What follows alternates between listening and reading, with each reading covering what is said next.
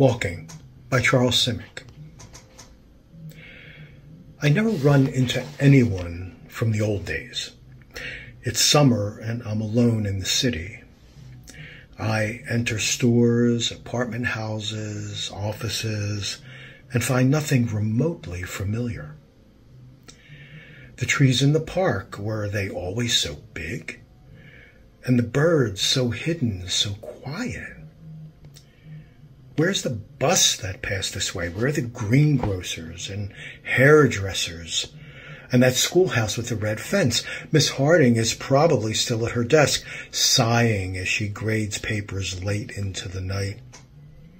The bummer is, I can't find the street.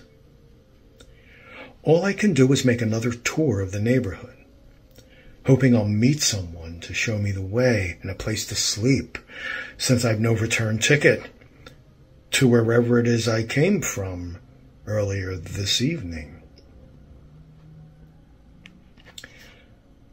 I was drawn to this poem because I am a walker. I walk and I belong to a place. I also walk in dreams a lot. I walk and walk and walk. And the starting port, points vary, but I, I, the, the destinations are mysterious. Um, in one dream, I walked under the ocean and I came upon wide, steep marble steps. Think Atlantis, think uh, Parthenon. So I started climbing the steps with great effort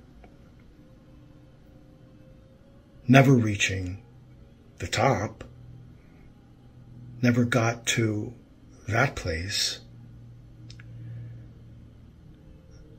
It was just walking.